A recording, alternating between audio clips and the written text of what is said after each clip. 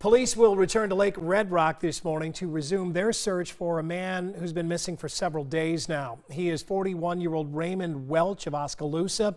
He was reported missing over the weekend.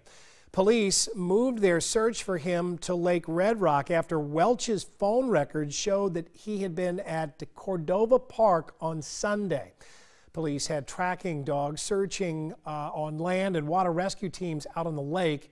Officers from eight agencies are helping with the search, but so far they've yet to find any sign of Raymond Welch. It's 5:30.